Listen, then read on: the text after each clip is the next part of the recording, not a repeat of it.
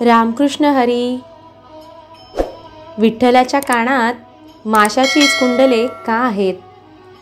असा प्रश्न आपल्याला सर्वांना पडतो. परंतु यामागे काहीतरी सत्य लपलेलं आहे.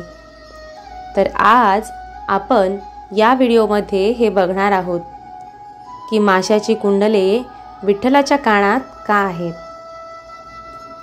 फार फार वर्षापूर्वीची ही कथा आहे. एकदा एक कोळी पांडुरंगाला भेटायला उपहार द्यायला त्याच्या पुढे आला. पण त्याला इतर लोक मंदिरात जाऊ देत नाहीत. कारण तो एक मच्छीमार असतो. आणि तसेही तो जे उपहार देतो ते म्हणजे त्याने पकडलेले दोन मासे. बाकीचे म्हणतात हा देवाला मासे का देतो? त्यालाही पाप लागेल. आणि आपल्यालाही. त्यावेळेस लोक त्याला ओढून मंदिराबाहेर काढतात. परंतु त्याचा विठ्ठल नामाचा जप चालूच असतो.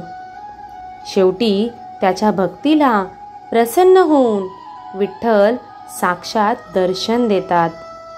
तेव्हा विठ्ठल म्हणाले तो काय देतोय हे महत्त्वाचे नाही. परंतु याच्याकडे काहीही नसताना तो दान देतोय. याकडे लक्ष द्या. आणि जो मनापासून भक्तिभावाने देतो ते मी आनंदाने स्वीकारतो. मग ते काहीही असू. असे सांगत विठ्ठलाने त्या कोळ्याकडून दोन मासे घेतले आणि कुंडलासारखे कानात घालून घेतले.